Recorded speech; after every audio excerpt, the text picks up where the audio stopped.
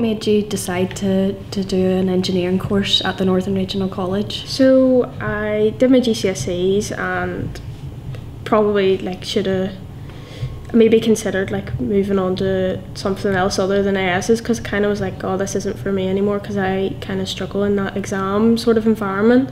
But just continued on uh, ASs anyway. And in upper sixth, I did work experience in an engineering firm and really, really enjoyed it.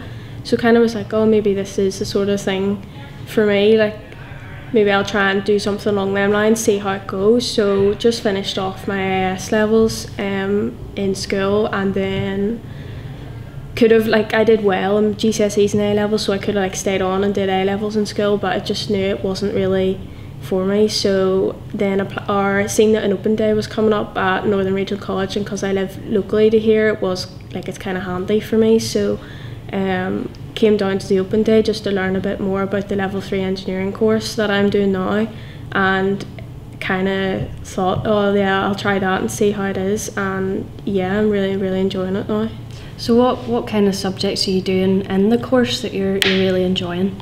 So in first year I really enjoyed doing the CAD and the engineering drawing because it kind of challenged my creative side a bit more um, and then this year I am doing a project unit, which is kind of sort of the same thing. It's challenging my creative aspects, but like being able to actually like try and like solve a problem in the workshop and make it more like user friendly and stuff. It's actually really like it's really challenging and actually really enjoy like challenging myself and putting it more into like what I would want to do.